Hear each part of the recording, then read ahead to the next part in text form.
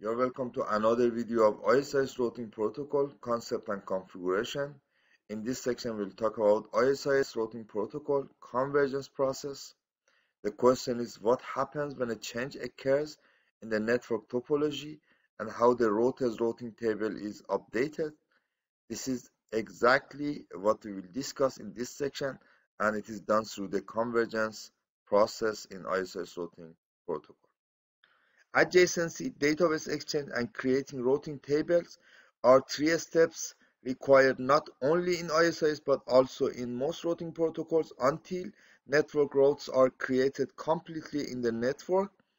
Now the question arises how the network topology changes are managed in the ISIS. In summary, it can be said that when a change occurs in the network topology, the router or routers that observe the topology changes directly inform all routers of the network about the changes by sending a new LSP.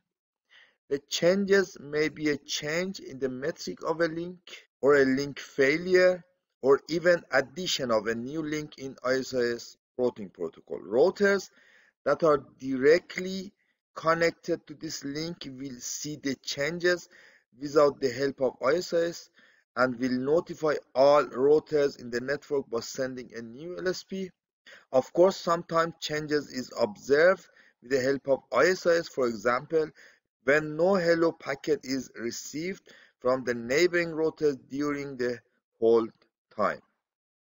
When neighboring routers notice the LSP change, they update their own database and send it to the other neighbors as well. Each router confirms the LSP changes to the sender by sending PSNP. Then each router independently updates its routing table by rerunning SPF process on the database. In this figure, router R2 notice that the links connected to router R3 is down the router sent a new LSP indicating the change and the router R1 confirmed the receipt of the new LSP by sending a PSNP.